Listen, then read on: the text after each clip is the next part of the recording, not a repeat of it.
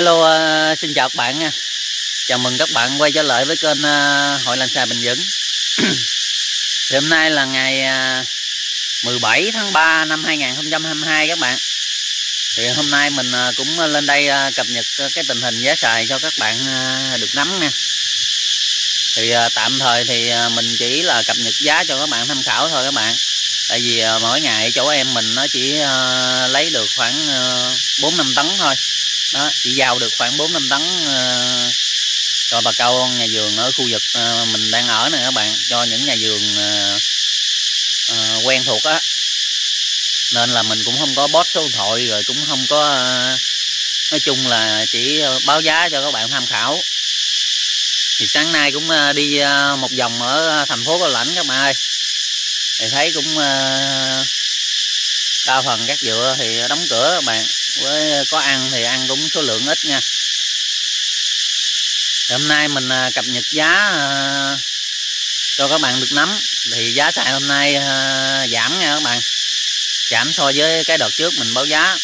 Cụ thể là giá xài thu mua tại vườn xanh vàng là loại một là 7 ngàn loại hai là 3 ngàn.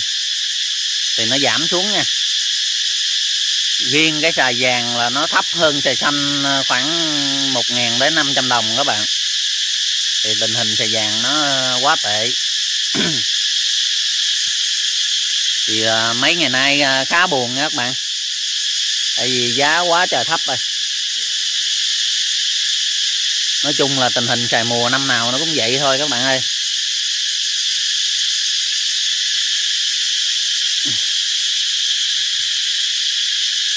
Thì um, hiện tại mà à, anh em nhà vườn nào mà làm lọc lại các bạn có à, nếu mà cần sử dụng uh, thuốc để uh, xịt uh, dưỡng lá thuốc sâu á thì uh, alo mình nha. Tại vì hiện tại mình có à, cái dòng sản phẩm chi chi gút thái các bạn. Đó chuyên là xịt sâu hại trên cây rất là hiệu quả thì anh em nào cần thì ờ, cứ ờ, liên hệ mình. Mình ờ, cho thông tin sản phẩm ở trên bên góc phải màn hình góc trái màn hình các bạn. Thì mình xin nhắc lại nha, giá xài Đài Loan hôm nay là xanh và, giá xài xanh xanh vàng. Mua tại vườn là xài nhất là 7 ngàn, xài nhì là 3 ngàn.